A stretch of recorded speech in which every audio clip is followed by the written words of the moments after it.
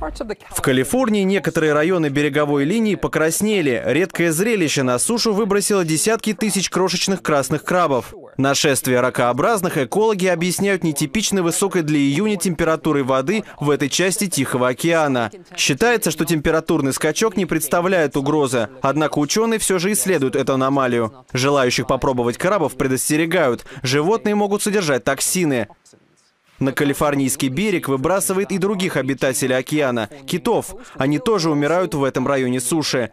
Ученые защитники живой природы дают происходящему четкое объяснение. Военно-морские силы США проводят учения с применением гидролокаторов и взрывчатых веществ.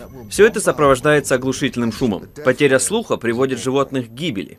Китам жизненно необходимо слышать, так как они находят пищу и обмениваются информацией. Ученые утверждают, что высокомощные гидролокаторы ВМС США оглушают этих морских млекопитающих. На самом деле, американские ВМС предупреждали о том, что их системы могут убить около тысячи китов в ближайшие годы, а ранить еще больше.